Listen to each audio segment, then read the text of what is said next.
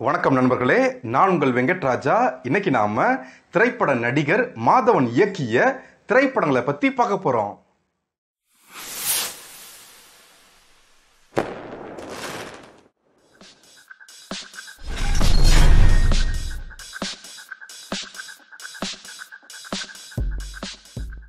ஒரு திரைப்பட இயக்குனராக ஆர். மாதவன் அவர்கள் ஒரு திரைப்படத்தை மட்டும் இயக்கியிருந்தாலும் இவர் சில திரைப்படங்களில் நடிகராகவும் எழுத்தாளராகவும் தயாரிப்பாளராகவும் வசனகர்த்தாவாகவும் டப்பிங் கலைஞராகவும் பயணித்து வருகிறார். இவர் ஆயிரத்தி தொள்ளாயிரத்தி எழுபதாம் ஆண்டு ஜூன் ஒன்றாம் தேதி பீகார் மாநிலத்தில் பிறந்தார்.